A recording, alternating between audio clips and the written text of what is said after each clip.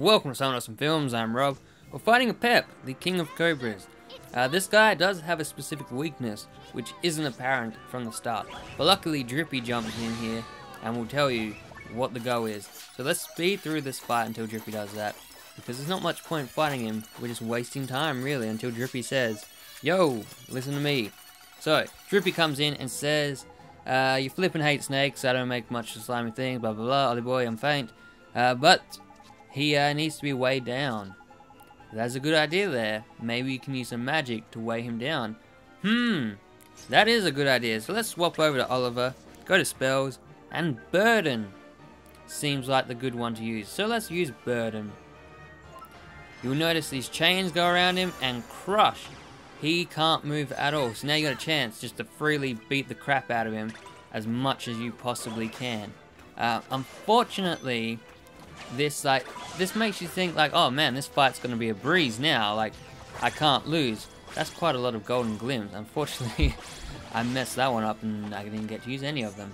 Uh, but yeah, so you think, oh great, burden, that's great. I'll just keep doing it. So you do it again, works like a charm. Wonderful. This fight is going to be a piece of cake now because he can't fight back, so he's he's no threat. Though when you get him down to half health, Burden no longer works on him, which kind of sucks because then you have to fight him properly. Because you thought, oh wow, this will be a piece of cake. Nah. So Burden stops working. You're just wasting magic trying it. Uh, so just go to your uh, whatever tactic you decide to use.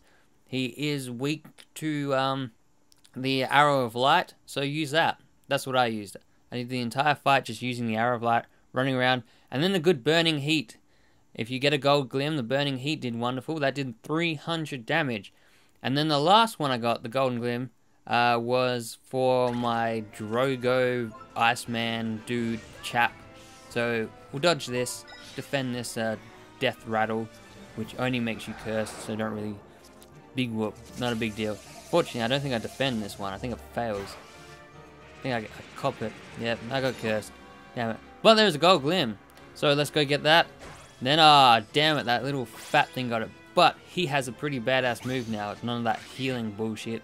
He has Ice Age, which does a whopping amount of damage of 441 and kills that giant snake. He dead. So there we go. Aapep defeated. Go and uh, Ice Age him because he's weak to ice and arrows of light and stuff.